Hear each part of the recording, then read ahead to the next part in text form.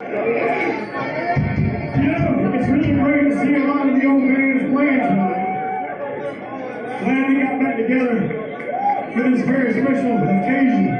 Special to us anyway.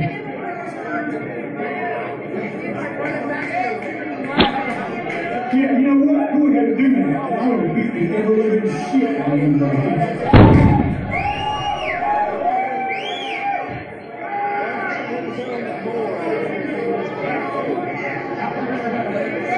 you. Try.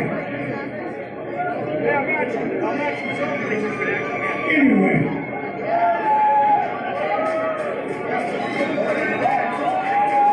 There's no reunion here tonight. This dead friend kept right on rolling. 31 years.